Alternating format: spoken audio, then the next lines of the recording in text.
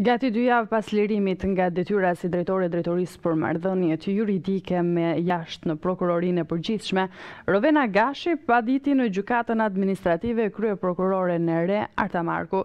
Gashi i ka kërkuar gjykatës pezullimin e vendimit të lirimit të saj, duke theksuar se vendimi për transferimin e saj është absolutisht i pavlefshëm.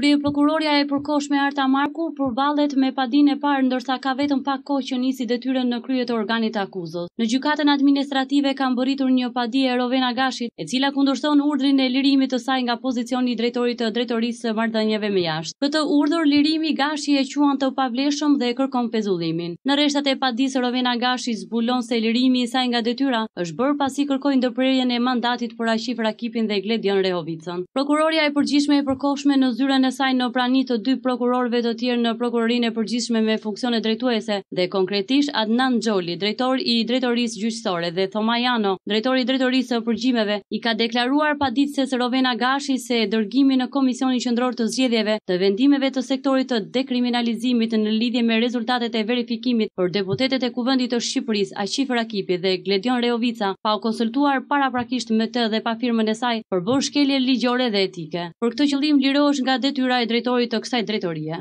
Gashi argumenton më tej në padinë e saj se ajo ka vepruar në përputhje me urdhrat e prokurorit të përgjithshëm ende në fuqi, të cilët e autorizonin atë si shefe e sektorit të dekriminalizimit për të zhvilluar komunikimin zyrtar me Komisionin Qendror të Zgjedhjeve. Gashi pretendon gjithashtu se urdhri i Prokurores së Përgjithshme të Përkohshme është i paarsyetuar. Mungesa e arsyetimit të këtij akti individual lirimi i cili sjell pasoja të drejtpërdrejta për paditësen, e bën këtë akt administrativ absolutisht të pavlefshëm, po referuar dispozitave të Kodit të Procedurave Administrative, më njëzet e nëntë dhjetor dy mijë e shtatëmbëdhjetë, dy javë pasi mori detyrën në krye të organit të akuzës, prokurorja e përkohshme Arta Marku firmosi largimin e drejtoreshës së marrëdhënieve me jashtë dhe sektorit të dekriminalizimit Rovena Gashi si dhe drejtuesin e Prokurorisë së Tiranës Petrit Fusha. Në vend të tij është emëruar Dritan Rreshka.